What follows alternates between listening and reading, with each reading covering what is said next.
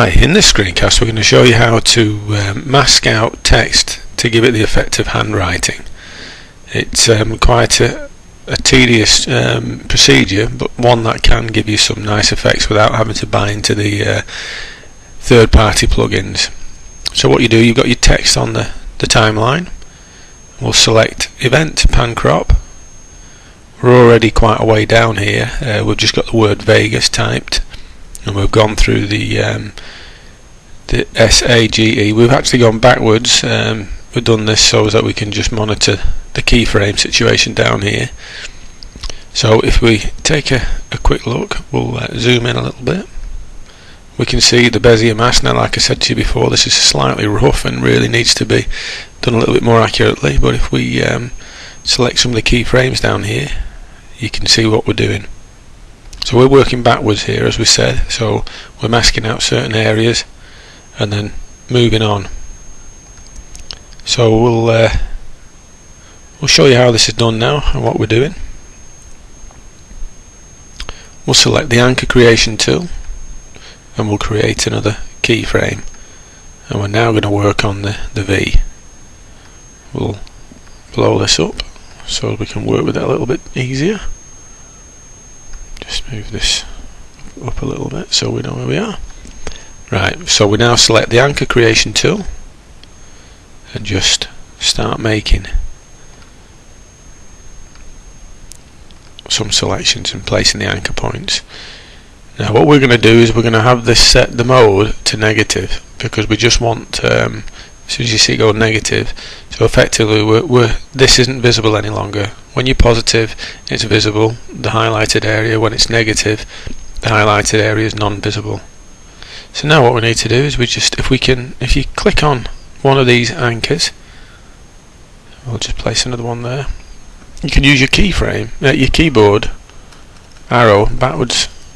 Just moving them around can give you some nice control over it as you can see here we can move it down a little bit. And then just say we wanted to take it out on a little angle. Come back on this one we'll go out.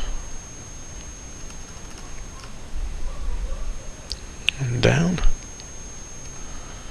Same with this one. Hide this one using the arrow key on your keyboard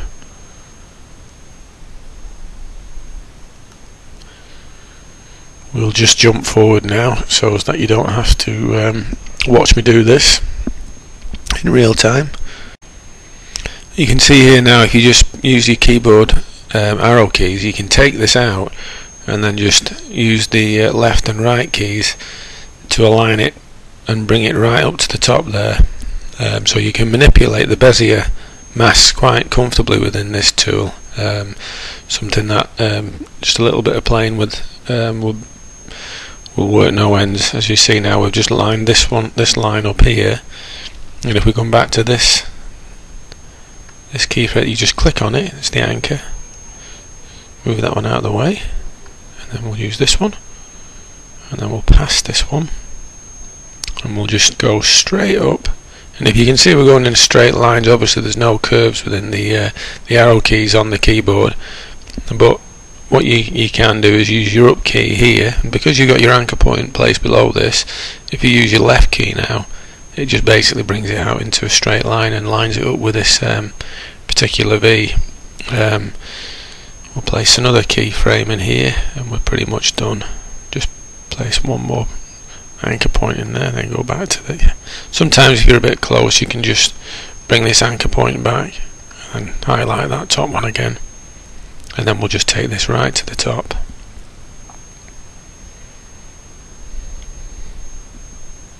Come across slightly.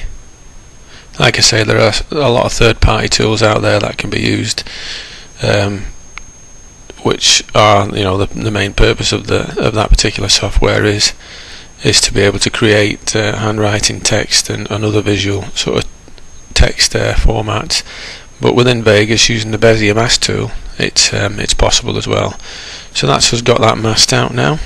We can just take a quick look within the preview window. We'll make it a little bit bigger. Just go draft full. And we'll just press the uh, we'll keep it on loop so you can see